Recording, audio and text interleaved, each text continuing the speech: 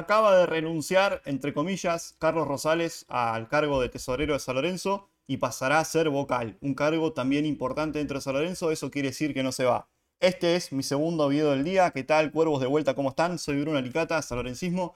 Vamos a hablar en un video cortito de qué significa que haya renunciado Carlos Rosales y si verdaderamente se va a ir de San Lorenzo y quién va a ocupar el cargo hasta por lo menos eh, el próximo año. Bueno, San Lorenzo está en vísperas de firmar el balance, es decir, el balance 2019-2020, el firmado este año que arrojó un pasivo de 56 millones de dólares de, de pérdida justamente, eh, de pasivo, cosas contables, eh, lo firmó Carlos Rosales cuando había renunciado el anterior tesorero, apuradamente Carlos Rosales asume.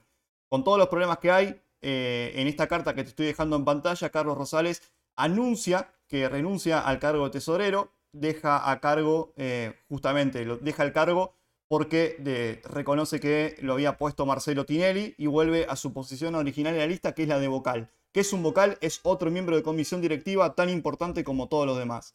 En el medio de esto, San Lorenzo se queda sin tesorero justo en el momento en el cual eh, tiene que firmar este balance. ¿Y quién va a ser eh, justamente el tesorero, por lo menos provisorio, porque en este club todo es provisorio? Bueno, el tesorero será eh, Claudio Lantarón, que hoy es el protesorero de San Lorenzo y en la primera comisión, en la primera reunión de comisión directiva eh, del año que viene veremos cómo se terminan eh, asignando cada cargo. Eh, veremos qué decisión también toma Marcelo Tinelli si es que decide volver de sus vacaciones de Uruguay. Pero para que quede bien claro, ¿renunció Carlos Rosales al cargo de tesorero? Sí, o sea, se fue del cargo de tesorero, pero pasa a ser un vocal y un vocal es un miembro importante dentro de lo que es la comisión directiva. Así que video cortito, espero que haya quedado claro qué es lo que pasó, porque eh, sonó mucho esto de renunció, renunció, renunció. Bueno, sí, se fue del cargo de tesorero y se viene la aprobación del balance el año que viene.